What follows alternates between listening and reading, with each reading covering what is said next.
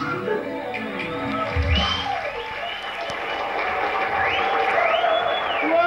Welcome back, ladies and gentlemen, to James Whale Summertime Extravaganza on the road. Ah, ah, knocking myself out doing this as well.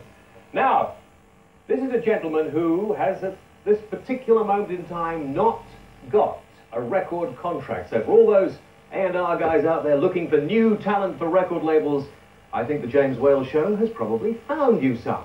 He's a guy who told me he's appearing at Aviemore fairly soon. There's no snow there, is there? Always, every week. Oh, he's appearing at Aviemore every week if you want to go up there and walk up and down the, uh, the ski slopes. Ladies and gentlemen, please give a nice welcome to Willie Logan!